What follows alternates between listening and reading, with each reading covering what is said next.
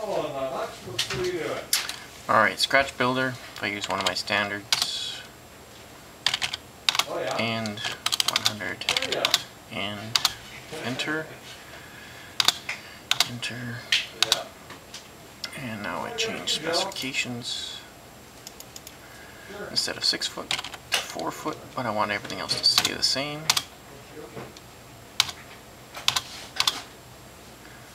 if I look at that, it still says 640.